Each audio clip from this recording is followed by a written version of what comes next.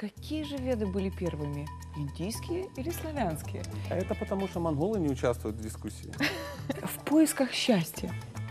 И никак мы не можем схватить его за хвост. У тебя есть выбор, но только один. И ты можешь выбрать либо счастливую семейную жизнь, либо успех в социуме.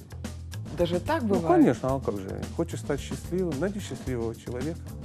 Спроси, как он этого добился. А Ведическая жена. Это как? Ваша жена, она ведическая? Нет, она моя. И есть ли смысл, да, копать так глубоко и понимать, где это истина? Можно не копать, но тогда ничего не выкопаешь, да? Пришла домой, вижу, пыль лежит, и я прилегла. 99% женских проблем а, решаются, проговаривая эти проблемы. Поэтому нам нужны подружки. Подружки, они, как правило, заберут что-то, а своего навалят. То есть женщина не предназначена для стрессов. То есть это не стрессоустойчивое живое существо.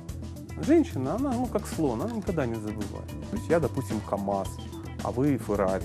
Тут даже если драка между ними начнется, пока вы не отвернетесь, я буду общаться с вами. Не спорю с мужчиной. Будет вам счастье. Вот эти веды – это те веды, которые настоящие веды. А вот те веды – это вообще не веды, да? А вы не поверите, я тоже подумал об этом. Хорошие Доктор, сапоги да. надо брать. У каждой женщины должен быть садовник, который ее поливает. Вот так вот.